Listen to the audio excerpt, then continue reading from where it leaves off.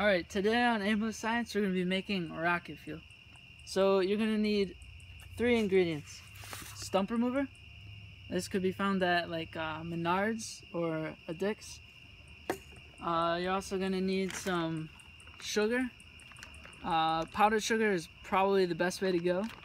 Granular sugar is going to work too, but not as well. And then lastly, you're going to want some rust. This will help with the burn time. You don't necessarily need this, but it's great to have. Okay, so first step, you usually want to have a 60 to 40 ratio. And we've gone ahead and measured everything out. We're going to be making a 100 gram batch. So this is the potassium nitrate. Kind of looks like little granules like that. And we're actually doing a 65 35 batch, 65% potassium nitrate. As you can see, there's 62 grams there, potassium nitrate. Here's powdered sugar. Should be reading 34 grams. It's okay, the scale's pretty bad. 34 grams of powdered sugar. And then we have our rust, and we should have about 4 grams of that, which we do. So we're all set to start making the fuel, and you'll see that in a short second. So now we're going into the cooking part. So here we have all our ingredients. This is the sugar, the potassium, the rust, and one more ingredient you need for this step is water.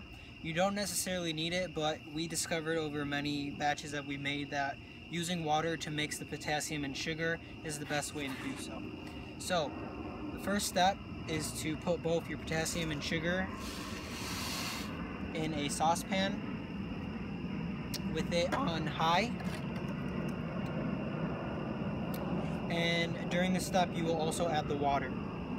Add as much water as you need to dissolve it's already boiling, to dissolve as all the sugar.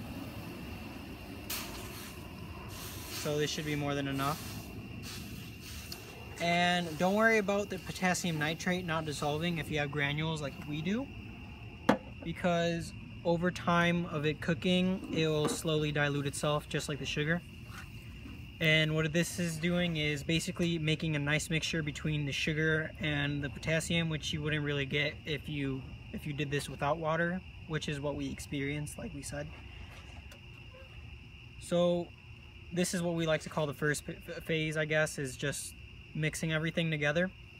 After this, we're going to go into boiling, which it should be soon.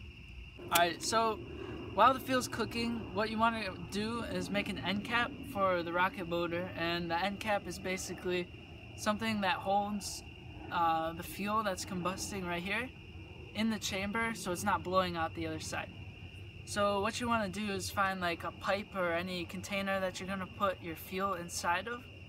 Usually you want it cylindrical, it could be PVC, cardboard, or even like a plastic, like a plexiglass. And so what I want to do is get some duct tape.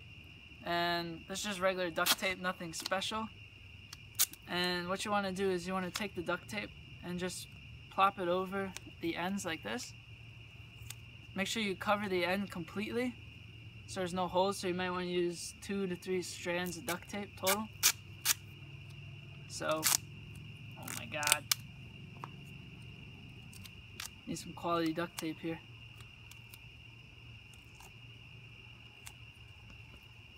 So it may not look pretty, but it gets the job done. So now what you're going to do is just check for any holes by looking down the barrel.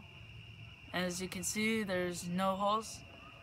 So what we're going to do now is fill up the uh, cylinder with bentonite clay, which looks like this. This is kitty litter. It's often mashed, or what you want to do is mash it up into like a fine powder, because when you compact it, it tends to stick together. So let's go ahead and uh, fill the cylinder up. It's quite easy. You usually want about like an inch. It kind of depends on how big your cylinder is.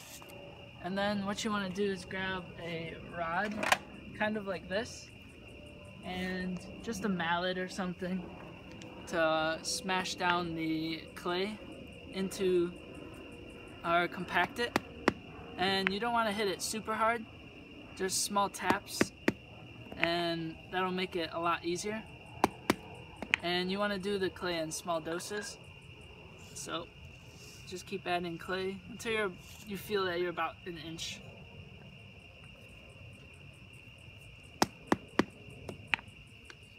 And also, a uh, side note is to keep the bottom surface flat because that's what you're compacting clay into. So the clay is going to take a mold from that flat ground. Or that's what you want, ideally. Okay, so I'm going to go ahead and put a little bit more. And we're almost set. Alright, so when you're done with all the, with ramming the clay in, simple check, just take your cylinder, pour it out. There should be a little clay that comes out, but not all of it. And then another thing is you want to make sure the surface that you just nailed to, or I mean uh, hammered down the clay into, is flat and not angled. Otherwise that can cause like a thrust imperfection. So now we're heading towards the boiling stage. You can see that now there's bubbles going underneath the actual mixture. This is ba basically the starting of this phase, but later on you'll start seeing bubbles go on top. And following that phase, you'll see you'll soon see a film go over the water, but that usually takes a while until most of the water boils out. So now it looks like we're entering stage three. Stage three, there will be a bunch of boiling bubbles, but also you would notice is that there's starting to be a film, if you can see. And at this stage, it's important to you to keep mixing because you don't want any of this film to stack up on the edges of the water because then the sugar in the film, as we call it, will start to caramelize and then we're trying to keep this mixture from caramelizing until we at least add the rust. Due to some minor inconvenience, we spilled a lot of our batter, but we still got managed to save some. Eventually, your batter should, or um, the liquid should boil out mostly, so it, you come to a mixture looking like this. It'll be uh, kind of like potato mushy, but uh, you'll still want to play around with it for a while until you feel comfortable to add rust.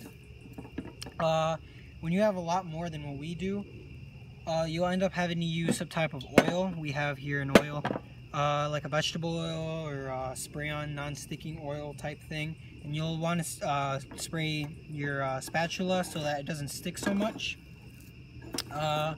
With the amount we have here, we're probably just going to place a little bit of rust. So I'll take the spoon here and pour a little bit of rust on here. I'll say about this much should be fine. Alright, and then once you put the rust in, it's kind of just like playing with Play-Doh. You just mix it around with everything and wait until, or and keep mixing around until it's a nice brownish color. Kind of like caramel. Alright, so now after uh, mixing a bit, you'll you should have something looking like this. Usually when we have a big batch, we like to take a piece about like maybe this big and we save it for testing, but since that convenience, uh, or inconvenience, we'll just use this and use this as a test overall and just burn it for you guys to see how good this fuel is. Alright, so here we brought it over to a stump. Uh, so this would be how big our test pieces were, would be. And uh, it's still a little warm. When it's warm, you could it's still a little moldable. And uh, depending on how high your uh, heat tolerance is, uh, you could probably mess around and mold it. Mold it. So here it is, and we're gonna light it up. Uh, I'm not really sure if this piece exactly is uh, still has a lot of moisture, but we'll find out right now when we light it up.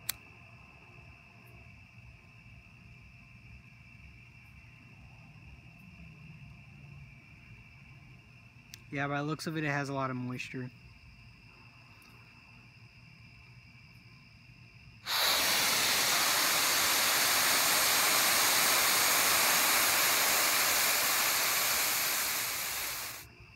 Now, if you had a, a bigger batch like we usually do, uh, you would probably be able to keep it on the pan longer and get rid of most of the moisture.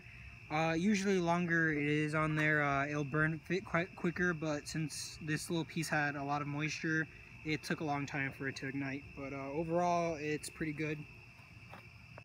Stay tuned for future uploads. We'll be sure to upload another video featuring how we cook this very quickly, but this time uh, the next upload we'll actually try uh, using the fuel in a rocket or a homemade, homemade rocket to see how much thrust we can get out of it.